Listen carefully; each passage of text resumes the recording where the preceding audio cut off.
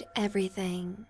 Alright guys, today we're going to be doing the file metadata microservice that is used to basically get the file size. We're going to pass in a file and then we're going to uh, be able to get the file size of it. In their example, they use an alert box. I actually just send back a uh, JSON response. You can do it however you want. Um, now, uh, we're going to go ahead and uh, get started. We're going to be using a multer dependency they re recommend. Uh, most of what's going to be new, uh, if you're not familiar too much with, uh, if you're familiar with Node and Express, is just this documentation and this middleware. Everything else should be kind of uh, familiar. It was my first time uh, working with a, having a view work with our backend. But let's go ahead and get started. We're going to start by creating a folder. Let's just go open folder. We'll do uh, file size, YouTube.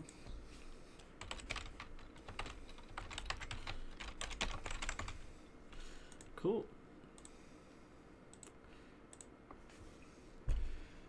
Nice.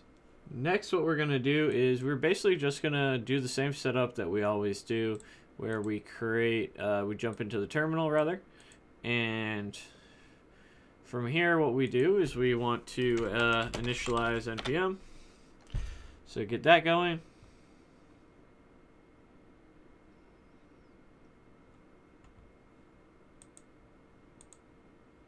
Just taking a second.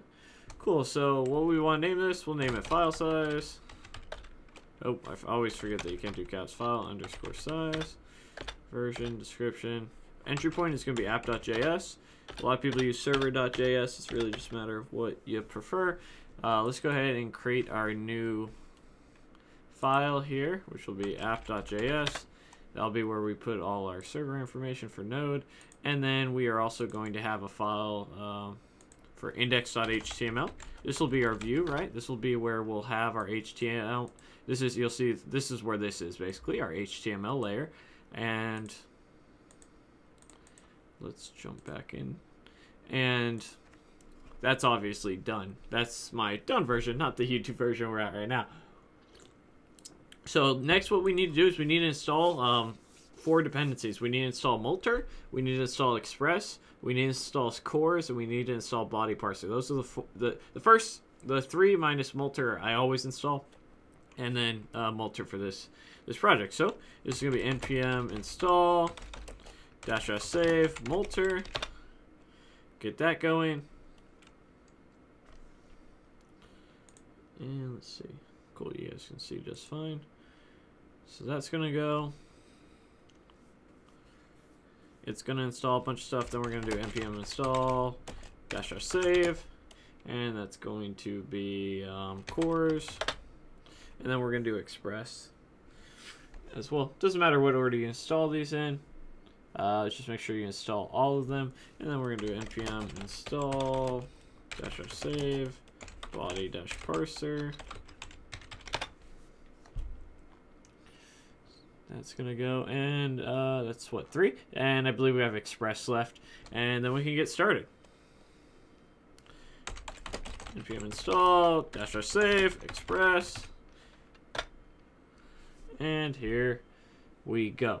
So how I normally start, and have, you probably should too, is just by going piece by piece, right? So uh, first you kind of set up your directory.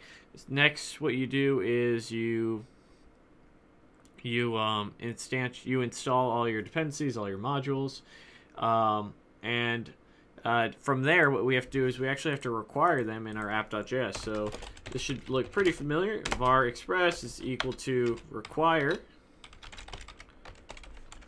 and in here we pass an express. This basically creates an instance of uh, our imports. So we're going to do the same thing for, let's get rid of this index.html. Let's zoom in a little bit now that we're not in the, there we go.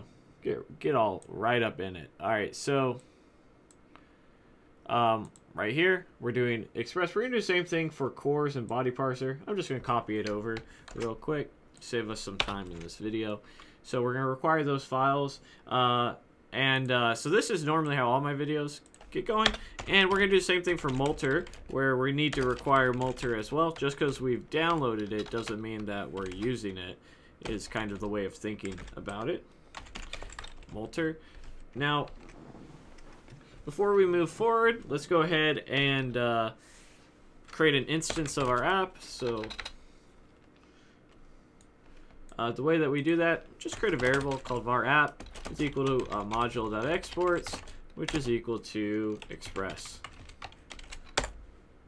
Now, that's our instance. Next, we just have to say, look, we want our app to use body parser. Uh, body parser.json. This is going to allow us to output our JSON much easier. And then we're also going to use app.use. We're going to use CORS so that we don't ever come across any um, cross-regional errors. We're just going to make, we're avoiding issues right here and making this easier right here. So now that we've instantiated that, let's make sure everything is set up properly. The way that we can do that is just by saying app.listen. And where do we want to listen? We want to listen on our localhost 3000. That's our port number. This is going to have just a function, a callback function. Basically, what's going to happen is when we hit that localhost 3000, we want it to console.log uh, something just to know that our server is working. So we'll pass in working, go ahead and save. And uh, I use NodeMon. I highly encourage you to uh, get it as well. But if you don't want to do it, you can always use um, just call node and then instantiate your device. So NodeMon allows you, when you save, to auto-update your server. So give it a second here. All right, so where did we make up? Throwing an error. All right, guys. So it seems like I had something else running on port 3000. So uh, that's my my bad. Uh, what I need to do is just simply change this port number over. Uh, we did, and we can continue on now. We can actually go ahead and reinstantiate this Multer. Um, learned a little bit about what's going on there. It looks like I didn't close the last thing that I was using on there, but everything's good now let's continue on. So what we were doing was we are basically just doing the setup. Let's jump into our index.html right now, and I'm going to copy over couple things. Now, I'm, I'm going to assume most people are somewhat familiar with HTML. If not, hey man, good look good job making it this far. But uh, we gotta we gotta we gotta get you familiar. So we're gonna have our body, we're gonna have our our head, all this sort of generic stuff that goes in there. Now what we need to do is we need to create our form input. To do that, we have to create a form. So let's have a form, our form tag, not dorm tag. And let's go and bring that in one more time. So in our form tag here, what we need are a uh, couple things. We need an action, we need a method, we need an encryption type, we also need two inputs and na a name for one of them. So to start off, uh, our form is going to have an action, and this is going to be equal to, to slash upload. This will link to our post that we're going to create in just a second. So in our post, we're going to have app.post, and we're going to have a couple things that go in here. The first thing is going to be that that URL like so. Uh, let me comment this out for the time being. We'll continue on with that in a second. So that's the first thing that we need. The next thing that we need is the method. What type of method is this form supposed to do? Is it a get? Is it a put? Is it a delete? Is it a post? What's it supposed to do? So that's our method. In our in our example, as I just said, it's a post. Now, the next thing we need is an encryption type. This is um, for Multer in order for this to work, you have to put in this tag, multi-part form data. This is just part of the documentation. This is what you need. Uh, so we'll go ahead and create a label. We're, we're about to move on to our inputs, right? So let's create a label, make it look nice. Um, we'll just say this is for, and I, I just happen to name it file. Um, so this is for our file. Uh, um, please that's nice. Please select a file. So that's our label. Let's go ahead and create our file input. So we have our input, and the type of this is going to be equal to file. And then the ID is equal to file. Uh, we don't actually need an ID for anything, but it's good convention. Typically, you want your inputs to always have IDs because they're going to be unique. And that, but this is what really matters right here. It's the name. The name is equal to file because this name links up with this label, and then also links up with our post. To in order for us to get uh, the next step of this next uh, input, we have this middleware um, that's going to basically take in a variable that we're going to define right now called upload. So we'll call var upload. And this is going to be um, equal to uh, multer. And then uh, we're going to pass in an object and dest. This is, uh, this is all in the documentation as, as well. And we'll just do dest uploads slash. Now what's going on here is we're basically just instantiating an instance of multer and in order for us to upload a single file and get what's in that file, we're gonna we're gonna get back the file size, we're gonna get the file type, and a whole bunch of other stuff. Uh, the way that we do that with our post, according to the documentation, is we take that object and we say, look, we want to upload a single file, and then you pass in that name parameter. Remember, I said this is going to be important, so this is how it gets this, and then we pass in our traditional function where we have the the req, the rest, and the next and this is our uh, basically our post call. So this is our multer, and we're saying, look, get a single file. The file is connected to the name right here. And do I, did I leave anything out? Oh, yes. Uh, we also need a submit button. So we need a way to say, hey, we're ready to actually do this post. We can do that with the input. Set the type equal to submit. Save that. And let's go to why we're... Uh, we'll, we'll check that out in a second. So uh, this is all we need to do in our HTML. Pretty straightforward. Now, uh, we're going to run into an issue where it doesn't detect this because we're, we're working on the localhost and we need to, and there's no like linking of files together really. Um, so the way that you fix this in a bootleg way, I'm going to show you the bootleg way, uh, if you will, and then I'm going to show you the actual way that you should do it. So the way that we can get it so that it detects our HTML page is we're going to pass in a get call. That's going to take in a function, and it's going to have req, res, and next. And then we are going to uh, basically says res. Let me copy this over. Res.send file. All that this is going to do right here is basically send this file to with this directory name. Now this only works for single files, so that's why I call it the bootleg way, but it will work for what we're trying to do. So if we try to go to localhost uh, index.html, it'll work now. So let's go to localhost, and this is now 4 4000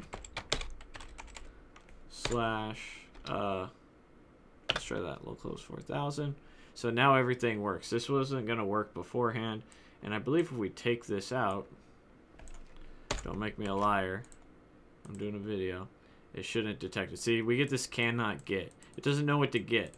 Um, so let's go ahead and put this back in here. So why? Do, so how do we do it if we don't want to do it this way, right? Uh, kind of the the much better way uh, using Express is to create a folder. Um, for what I've been told, kind of the standard way of doing is creating this public folder, and what you do is you put everything in there that that's gonna need to be created. And then uh, we are going to use this statement right here. Go ahead and put it right below here.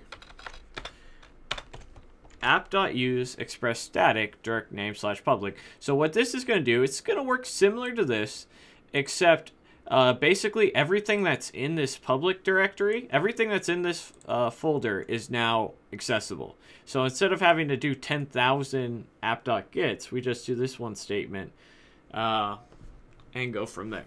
So let's go and save this, make sure everything is working. Do a refresh here. So everything's good to go. Cool. So how do we actually we we've we're basically there. All we have to do now is return our upload. So how do we do that? Well, uh, you just do return and res.json, that our response, and this is basically going to JSONify, if that's JSONify is the word, I believe. Uh, uh, the request.file, so what we're passing in, and the file information. So now, let's go and refresh this. Uh, we're going to choose a file. Uh, what do we want to choose? We will choose my logo here and submit it. And you'll see we get all this file information here. We get uh, the field name, what we called it, right? Um, this file, the original name, logo square.jpg, the encoding, the MIME type, the destination, the file name, the path, and finally our size, which was the whole point of this. Um, well, the whole point was really get you comfortable with connecting your HTML, I think, with your with your server. But uh, this is the this is the uh, file metadata microservice. Pretty cool. Get you introduced to Multer. I imagine that this is one of the more common modules to use for easy uploading and things like that, and uh, how to work with files. But as always, guys, thank you for watching the video.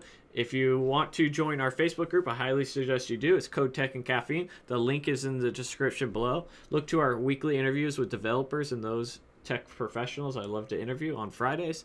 And if you want to support me, you can at you at youtube.com slash coding tutorial 360 is a good place as well but uh patreon.com slash coding tutorial 360 i appreciate it and i'll see you guys in the next video hey guys thanks for watching the video if you're interested in coding bootcamp check out devmountain.com where housing is included in your price of tuition. And don't forget to like comment subscribe and share and support me on patreon. I'll see you guys in the next video. Thanks for watching